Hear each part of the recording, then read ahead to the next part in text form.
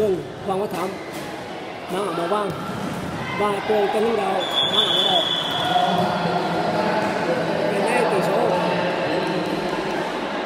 Trần Hưng Đạo thắng 17